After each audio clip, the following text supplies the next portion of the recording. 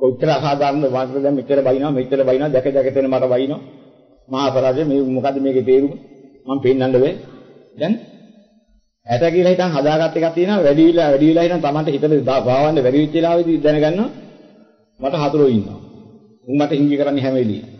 හිංගි හිංසා කරනවා. දැන් මෙහෙම නිගමනයක් කරනවා. ඊ හතුරුකම උදා වෙච්ච හැටි දැක්කේ නෑනේ. දැකලා මොකද වෙලා තියෙන්නේ? ඇයි ඒ තත්ත්වයටපත් උනේ? ඇයි මට හිංගි කරන තත්ත්වයටපත් වෙන්න හේතුව මොකක්ද? කවදාද මේ හිංගිය පටන් ගත්තේ. අපෝ ඒ දවස්වල නම් එහෙම නෙමෙයි හරි හොඳයි. මට වචනයක්වත් කියන්නේ නැහැ. එහෙම කාලෙකුත් තිබුණා දැන් දැන් නෑ මට මේ වයින්නේ මම පෙන්වන්න බැරි. එහෙම කාලෙකුත් තිබුණා ඕ අතර දැක්ක අර පෙන්වන්න බැරි සත්‍යෙට උදා වුණේ කුමක් විලාද අන්න එතෙන්දි දැකන්න. තේරෙන්න පටන් ගන්නවා. ඒක යථාර්ථය. ඉතල ප්‍රියමනාපෙන් හිටියේ මෙන්න මේ හේතුව. ඒක ක්‍රමක්‍රමයෙන් කලතුළුුනේ කොහොමද? මම හිතුවක්කාර වුණා. කරන්න ඕන දේ කරන්නේ නැහැ. අවවාද කළා පිළිගත්තේ නැහැ. මං හිතුවක්කාර විදිහට මට ඕනේ විදිහට කළා. ඒකෙන් එන්නේ අනිකුත් විලා හිත මාකෙහි කලකිරෙන පටන් ගත්තා. ක්‍රමක්‍රමයෙන් කලකිරලා කලකිරලා හිටන් ඒක උපරිම බුදුන් පෙත්තට ආවට පස්සේ දැන් මට බයි. දැන් මායික ප්‍රියනේ. එහෙනම් ප්‍රිය නැති බව උදා වුණේ ඒක උදා වෙච්ච එකක් මිසක් ගහින් ගෙඩින්නේ එකපාර හැදිච්ච එකක් නෙමෙයි. දැන් මේක අරගන්නේ කොහොමද? ආපු හැටියටම ආපහු ගියොත් හරි. නිරුදා කරගන්න ඕන. ක්‍රමක්‍රමයෙන් අවවාද පිළි අරගෙන. සැලකිල්ලෙන් කටයුතු කරලා. අර ඉස්සෙල්ලා මුලින් තිබිච්ච සතර ක්‍රමක්‍රමයෙන් ගෙනාව. අන්න දැන් අර ඉස්සෙල්ලා තිබිච්ච තරහ ඉවරයි. අන්නේ නිරෝධ වුණා. මේ තරහක් ඇති වුණා තරහක් නැති වුණා හතුර ඇති වුණා හතුර නැති වුණා කියලා එතනමයි බලන්න ගියොත් එහෙම. අර අතරමඟ වෙච්ච එක හිතන්නේ නැතුව අපිට කවදාවත් පිළිසරණක් ගන්න බෑ. නිදින ක්‍රමේ දැනගන්න බෑ. දැන් නමුත් අද ලෝකයට වෙලා තියෙන්නේ උතන. පටන් ගන්න පුංචි දෙයකින්. ඒ දේ ටිකෙන් ටික ලියලා ලියලා ඇවිදලා ඇවිදලා යන එක මහත් බවටපත් වෙනවා. ඊට පස්සේ බුද්ධිලා එතන ඉඳගෙන තර්කවාද ඔක්කොම ඉදිරිපත් කරනවා. දැන් තර්කවාදය කරන දෙයක් නැහැ. යථාර්ථය දැක්කන. යථාර්ථය දැකෙන තුරු සහ පුද්ගලීට වෙන්නේ අර ඵලයේ පිහිටලා. හේතුව දකින්න නැතුව. ඇත නැත කියන දෙකට බහැර කටයුතු කරන්න යනවා. මේක හරි අසාධාරණයි. ඇයි මට බයින්නේ? මම මොන වරදක් කළාද බයින්නේ? දැන් මම හැරුණත් වැරදි. අනේ දැන් කියන්න පටන් ගන්නවා. කවදායින්ද හැරුණත් වැරදි වුණේ? අපි හිව්වේ නේ. උදා වෙච්ච හැටි හිව්වේ. හැමදාම එහෙමද? පටන් ගත්තා නම් එහෙමද? එහෙම නෙමෙයි. ක්‍රමතමින්නේ මේක ඇති වුණේ. ඒකට හේතුව මොකක්ද? අන්න උදා වෙච්ච හැටි දකින්න. සං උදා වෙච්ච හැටි දැකන සමුදේ දැක්කා. සමුදේ දැකනම් යාර විදිහට මග තියෙනවා. උදා වුණේ මෙහෙම කියලා දැනගත්තා නම් ඒක උදා නොවෙන්න. ඒ හේතුව නැති කරගෙන ගියොත් ඒ උදායෙන් ඉවරයි. විරෝධයි. ඉතින් මේකට මොකද කරන්නේ? මේ සං එකතු කරගත්ත නිසා තමයි මේ වැඩේ වෙලා තියෙන්නේ. සං වරන්න පටන් ගන්නවා කියන්නේ. එකින් එක එකින් එක එකතු කරගත්ත එක නැති කරන පැත්ත හේතු හොයන්නේ එකයින් කරගන්න. සංවර වෙනවා. අසංවර නිසා ඔක්කොම ප්‍රශ්න මතුවුණා. සංවරත්වයේ තිබුණා නම් කෙනෙකුට කියන්න දෙයක් නැහැ. බයින්ද විදිහක් නැහැ. තමයි කඩේට ප්‍රමාණිකුල වෙනවා. වරදා දකින්න නැතුව යනවා. එහෙනම් ඇති කරගත සං බලන්න පටන් ගත්තා. සංවරත්වයෙන් සීලං කිව්වේ ඒකයි ශික්ෂණය වුණා. හරියට ශික්ෂණය වුණා කියලා කියන්නේ. තමා විසින් කරන්න කියන කටයුතු හරියාකාරව ධර්මානුකූලව නියම ක්‍රමයකට කරන්න පුරුදු වෙන්න ඕනේ. තමන්ගෙන් අනුන්ට අවදක් නොවෙන්නේ. අනුන්ගෙන් තමන්ටත් අවදක් නොවෙන විදිහට වග බලා ගනිමින් ඒ ආකාරයෙන් කටයුතු හරියට කරගෙන ගියා. අන ශික්ෂණයක් ඇති වෙනවා. දැන් මිනිස්සු ඒ වටිනාම පැත්ත පැත්තකින් තියලා. ප්‍රශ්නේ මතුවෙන දිවිච්ච පැත්ත පැත්තකින් තියලා. මම සත්තු මරණ කෙනෙක්. මම හොරකම් කරන කෙනෙක්. මම කවදාවත් කාගවත් හොරකම් කරන්නේ නැහැ. මම කාමී වර්ධව ඇතිලෙත් නැහැ. මම බොරු කියලා අනුකවටලත් නැහැ. ඒක එකක්වත් කරලා නැහැ. ඇයි මට ඒක මෙහි ප්‍රශ්නේ වෙන්නේ? විතර සීලවන්ත ගුණවන්ත මට. අන්න ප්‍රශ්නයක් ඇති කරගන්න. දැන් බුද්ධිලේ දැකලා නැහැ. සං උදා වෙච්ච හේව සමුදේ වෙච්ච හේව. අපි නොදන්න පැත්තක් කියලා අපි ගිහින් තියෙනවා. මම කොච්චර සතු මරුවත් හරියන්නේ නැහැ. දැන් භාර්යාව සාපිකුසට කන්න ටික හදලා දුන්නා නැත්නම් වෙලාවට බයිනවනේ. බයිද හේතු මම සතු මරන්න නැති හින්දා ඉඳ වෙන්නේ. මම සත්තු මරන්නේ නැහැ මම මොහොත පන්සිල් රකින්න කෙනෙක් මෙච්චර ඉන්න මට ඇයි මේ බයිනේ මේ මිනිහා කියලා හරියනවා. වෙලාවට කන ටික හදලා දෙන එක භාර්යාවගේ යුතුයකමනේ. එයා ඒක හරියට නොකළා නම් ඒකේ විපාක ඉන්නේ තර වෙන්නේ. එයා සත්තු මරන්නේ නැතුව ඉතින් බැනු ගහන්න දෙන්න පුළුවන්. වෙලාවට කන ටික හදලා දෙන එක අර පස්පව් පංච දුස්චරිතයයි තියෙකුත් නෙමෙයි. පංච දුස්චරිතයට යන කොතර හිරියා. එයා එයාගේ යුතුයකම හරියට ඉටුකලේ නැත්නම්. දැන් ඒකනේ බැනු ගන්න හේතුව. දැන් එයා කියනවා මම මෙච්චර සිල් ගන්නවා. මම මෙච්චර හොඳින් ඉන්නේ. මේ විදිහ මටම බයි. දැන් මේ මිනිහට මට බැන්නේ මම සිල් ගත්ත හින්දාව සිල් ගත්ත නොගත්ත හින්දාවත් නෙමෙයි. ඒ මිනිහට වෙලාවට කල් ටිකක් දාලා දුන්න නැති හින්දා. ඒ නිකන් බලාපොරොත්තු වෙනා නේද? මගේ යුතුයකම් තුනා නේද? මගේ යුතුයකම බහැරලා නම් මම සිල් ගන්න ගිහිලා ඉතින් ගියා බැනු ගන්න වෙන්නේ ඕකේ නේද? වහන්දක මෙච්චර පින් කරලා යන මට ඇයි මේ වදි? ඇයි මට මේ මේ මේ මේ කරදරේ ඉන්නේ? ඕ බුදුදහමේ ප්‍රතිඵලයක් මට නැද්ද? ඉතින් අහනවා. මම මෙච්චර සීල් සමාදන් වෙලා ඉන්නවා. ඔයද සීල් ගන්නවා. මේ මිහට මාව පෙන්වන්න බෑ. මේ ගෑනිට මාව පෙන්වන්න බෑ. ගෑණිගේ මිනිහටත් මිනිහගෙන් ගෑණිටත් ඉති ඉති යම්කිසි යුතුයකම් කොටසක් තියෙනවා. ඒ ටික නොපිරිහෙලා ඉටු කරන්නේ නැතුව බැනු ගහලා දෙන්න පුළුවන් දෙන්නට දෙන තරහ හැදෙන්න පුළුවන්. ඔතන සීල් ගත්තා. දැන් මේක තමයි දුක්ඛ සමුදය දැකේ නැති හැටි. ලෝක සම්මතවල වෙලා ඉන්න නැත්නම් පදපරම වෙලා පදයක් උස්සගෙන ඉන්න පුද්ගලයා. දෘෂ්ටියක් උස්සගෙන. අපි සීලවන්තයි ගුණවන්තයි ඇයි අපිට බයින්නේ කියවට හරියන්නේ නැහැ. සීලවන්ත ගුණවන්තකම කියන්නේ එක පැත්තක්. බැනුම් අහන්න වෙලා තියෙන වෙන හේතුවක. අනේ බැනුම් අහන්න හේතුව දකින්න ඕනේ.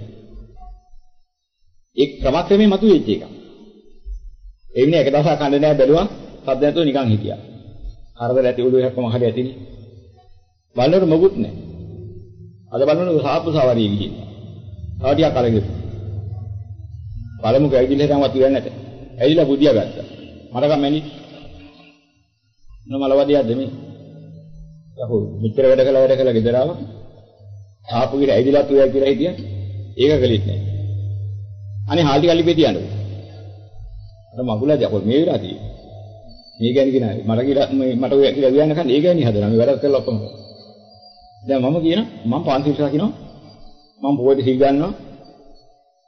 ඉතින් ඇයි මේ මිනිහා මාකට තරහ වෙන්නේ? දැන් පොයේ සිල් ගන්න එකද මේ මිනිහා තරහ වෙන්නේ හේතුව? ඉතින් නොගන්න එක. පන්සිල් රකින්න නැති දෙයක මේ මිනිහා තරහ වෙන්නේ හේතුව. අන්න අපි ඒක දකින සමුදේ දකින්නවා කියන්නේ ඕන උතන. යමක් යමක් නිසා අපිට දුකක් කරදරයක් ආව නම් ඒ ඒ දුක කරදරයට හේතුව මොකද බලන්න ඕන. අපි ඕක තේරුම් ගන්න නැතුව අපි අද හරි අමාරුවක වැටලා ඉන්නවා. මෙච්චර සීලවන්තයි මෙච්චර ගුණවන්තයි මං කාටවත් කරදරයක් කරන්නේ නැහැ ඔක්කොම මටම බයින්නේ. දැන් මෙහෙම අහනවා. බයින්නේ හේතුව හොයන්නේ නැතුව ඒකට වෙන එකක් පටලවලා. සිල් ගත්තා නම් බයින්න තියෙන්න ඕනේ. එහෙම එකක් තියෙන වෙන හේතුවකට වෙන ඵලයක් හම්බ වෙනවා. යම් ඵලයක් හම්බුනේ ඒකට අනුකූල හේතුවකින්. බෞද්ධයෝ කියන්නේ අන්නේ හේතුව දකින්න ඕනේ. එතකොට යථාර්ථය තියෙන්නේ. ආ සීලබ්බත පරාමාසයට වැටිච්ච අය තමයි අර දුක් විඳින්නේ. වෘතයක් හැකරකයි වෙලා ඒක මුද්දාම කරගෙන ඒක උස්සගෙන මම මෙච්චර සුදානම් ඇයි මට මෙහෙම කරන්නේ? ඉවට හරියන්නේ. අල්ලපු ගෙදර මිනිහට පෙන්වන්න බෑ. අර පිටා මිනිස්සුන්ට පෙන්වන්න බෑ. බලන්නකෝ මම මෙච්චර සීල් ගන්න යනවා. මම කාටවත් වර්ධා කරන්නේ. මිනිස්සුන්ට මාව පෙන්වන්න බෑනේ. උන්ගෙන් ඇහුවොත් මොකද? අපේ වත්තේ ගෙදරට පොල් අතු බැඳ බැඳ හිටියා. ඔක ගෙදර නිකන් ඉලා හිටියා. අපි අඬ ගහම පොල් අතු ටිකක් බඳින්න දෙන්න කියලා. ඔක ගණන් ගත්තවත් නැහැ. උගු වැඩ කියන රත් මොකටද යන්නේ? දැන් වෙලා තියෙන්නේ ප්‍රශ්නේ ඒක. එයා සිල් ගත්තේ නැති සිල් ගත් එකවත් සිල් ගත් එකක් නෙමෙයි තරහ වෙන්නේ හිටින්නේ පොල් අත බැඳ ගන්න අවශ්‍ය නැද්ද පොල් අත බැඳලා උදව් කරන්න තියෙන්නේ. අල්ලපු ගෙදර දාන්නේ. ගෙදර උන් කරගන්නේ මං සිල් ගන්න යනවා. ඉතිලාගෙන ආවට පස්සේ මොකද කරන්නේ? ළඟ අහල පහල ඉන්න උගේ වැඩක් නෑ. හදිසියක් කලබලයක් වුණා කොච්ච එකක් එකකවත්. ඒ විදිහට කල්පනා කරනවා මට ඕක ඒකට මම උදව් කරලා වැඩකුත් නෑ. අර සමගිය නැති වෙන්න හේතුනේ. ඒකට අවශ්‍ය කරන්නා වූ ඵලයට හේතු නැති කරුණ නිසායි. සමගිය ඇති වෙන තිබිච්ච මේ සමගිය නැති ඵලයේ කුමන හේතුවකින්ද උදා වෙන්නේ? ඒක දැක්කේ නැති නිසා. උඩ අසමගියට ගොදුරු වෙන්න සිද්ධ වෙනවා. ඉතින් මම මෙච්චර සීලවන්තයි ගුණවන්තයි මෙච්චර කරනවා මටම අනිකේව බයිනවනේ. දැන් හරියනවද කාටද? බුදුදහම තියෙන්නේ යම්කිසි තැනක යමකින් අසහනයක් දුකක් හට ගන්නවා නම් ඒකට හේතුව හොයන්න. මෙන්න මේ හේතුවටයි මේක හටගත්තේ. මට ඒක එපා නම් ඒකට මම අකමැති නම් ඒ ඵලෙට. අන්නේ හේතුව හොයලා දුරු කරගුවාම ඒ ප්‍රශ්නේ ඉවරයි. ඒකට වෙන එකක් පටලවන්න හරියන්නේ නැහැ. හේතුඵල වාදයක් බුදුදහම කියේ ඕන ඕකට. එහෙම කරා නම් අපිට අද මොන ප්‍රශ්නයක්වත් එන්නේ නැහැ. අපි දැනට ඔබින විදිහට හේතුව දැකලා ඵලයේ දැකලා ඵලයේ අවැඩ නම් ඒකට අවැඩ හේතුව දුරු කරලා ඒ ඵලයේ වැඩ සහිතනම් යහප සාන්තනම් ප්‍රණීතනම් ඒකට අවශ්‍ය කරන හේතුව වඩලා හේතුවටපත් වෙනවා. එහෙනම් එයාට කවදාවත් ඔය ප්‍රඥාවක් එකක්වත් එන්නේ නැහැ. මේ යථාර්ථයේ විදිහට දකින්න ඕනේ. මේ එහෙම දැනගත්තා නම් තමයි නියම බෞද්ධයෙක් ඉන්නේ. බෞද්ධයෙකුට වායුවෙන් කරදරයක් එන්නේ විදිහක් නෑ කියන්නේ ඔන්න ඕකයි. බෞද්ධයා කරදරේ දකින්නවා කරදරෙට හේතුව දකින්නවා කරදර නිරෝධය දකින්නවා නිරෝධ මාර්ගය දකින්නවා. දුක දකින්නවා දුකට හේතුව දකින්නවා දුක නිරෝධය දකින්නවා දුක නිරෝධ මාර්ගය දකින්නවා. මේ දුක නිරෝධ මාර්ගයේ හිල් සමාදන් වීම කියලා ගත්තොත් හරියනවා. නෑ තමන්ගේ අසංවරත්වයක් තියෙනවා නම් අභ්‍යන්තරේ ප්‍රාණඝාත අදත්තාදාන කාමීත්‍යාචාර මුසාවාද පිසන ආවාද පරසාවත හම්පපලාප අවිජ්ජා ව්‍යාපාද මිත්‍යා දෘෂ්ටි කියන මේ දස අකුසලයන්ට මගේ තමන්ගේ මනස පොළඹවන. ඒ බඳු කරදරයක් තමන්ට තියෙනවා. අන්න ඒ කරදරය අරගන්න හේතුව තමයි ඒකෙන් අහකලා තියෙන හිල් සමාදන් වෙලා ශික්ෂාගාමීව ඉන්න පැත්ත. ඒක ඒක හේතුව. ඒක ඒ හේතුව මේ හේතු නිරෝධ කරන්න ක්‍රමය. ඵල නිරෝධ කරන්න ක්‍රමය. අන්න ඒ ක්‍රමයට දැනගන්න ඕනේ ඒක. යම් කෙනෙකුට රාගය එනවනම් රාගයෙන් ඔහු කලබෝනවනම් රාගයට හේතුකාරක වන්නා වූ දේවල් පිළිබඳව සංවර වෙන්න ඕනේ. ඒකේ ප්‍රතිඵලයක් වශයෙන් උට රාග නිරෝධය වෙලා රාගය නිසා ආපු දාහි නැති වෙනවා. යම් කෙනෙකුට ද්වේෂය එනවනම් ද්වේෂයට හේතුකාරක වන්නා වූ කාරණා දෝෂේ කාරණා දැනගෙන තමා විසින් සිද්ධ කරන කාරණා හිතින් කයින් වචනේ කරන ඒවා දැනගෙන. ඒ හේතුවේ ඵලයේ වශයෙන් උදා වෙච්ච එකක් තමයි මේ ද්වේෂ සහගත මානසිකත්වය. ද්වේෂසහගත මානසිකත්වයට හේතුකාරක වුණේ ඒ ටිකන. මම ක්‍රමක්‍රමයෙන් ඒක නිරෝධ කරන්න ඕන. ඒකට අවශ්‍ය වෙන හිතවිලි ක්‍රියාවදන් එකින් එක එකින් එක දුරු කරගෙන ගියාම ද්වේෂයට හේතු කාරණා නිරෝධ නම් ද්වේෂේ නැවති ඵලයේ නිරෝධය තමන්ගේ මනස ද්වේෂයෙන් තොරයි. මුලාවටපත් වෙන්නා වූ මානසිකත්වයක් ඵලයේ වශයෙන් ලැබුවා නම් තමන්ට අවැඩෙනවා. මුලාවට හේතු වෙන හිතවිලි ක්‍රියාවදන් නිසායි ඒක හටගන්නේ. අන්නේ හේතුව ක්‍රමක්‍රමයෙන් අයින් කරලා දැම්මහම දැන් මුලාව හට ගන්න තිබිච්ච හේතු ඉවරයි. දැන් මුලාව නිරෝධයි. රාග දේශ මොහ දුරු කරන්නේ ওই ක්‍රමයක. එදිනෙදා කරීතු රාග දේශ මොහ දුරු කළා කියලා ඒ ටික කරගත්තට අපි එදිනදා මේ ජීවනෝපාය ගිනේ ජීවත් වෙන කටයුතු වල තියෙන ප්‍රශ්න නිරාකරණය කරන ওই ටිකෙන් හරියන්නේ නැහැ. ওই ටික අපේ විමුක්තිය සඳහා තියෙන හරිය. රාගක්ෂේත, ද්වේෂක්ෂේත, මොහක්ෂේත ඒ ටික හරිය. අර රාගක්ෂේත, ද්වේෂක්ෂේත, මොහක්ෂේත කරන බුද්ධිලයා තමයි යුතුයකම් ඉටු කරන්නේ නැතුව හිටියනම් අන්නේ සමාජයෙන් ඉන්නව ප්‍රශ්න වලින් බේරෙන්න පුළුවන්. ඒක ඒකට හේතුඵලෙ නෙමෙයි. අන්න අපි දැනගන්න ඒ යුතුයකම් ඉටු කරුවා නම් අපිට ඒ සමාජයෙන් එන විදිහට අනිෂ්ට ප්‍රතිඵල නිදිච්ච ඵලෙ ඒකින් ඉවරයි. සතිය ශ්‍රේෂ්ඨයි එහෙත් වෛරයෙන් නොබිදේ කියලා බුදුරණන් වහන්සේ දේශනා කළා. සතිය ශ්‍රේෂ්ඨයි. සතර හතිපට්ඨානෙ අති ශ්‍රේෂ්ඨයි. අය වෛරයෙන් මිදෙන්න බෑ.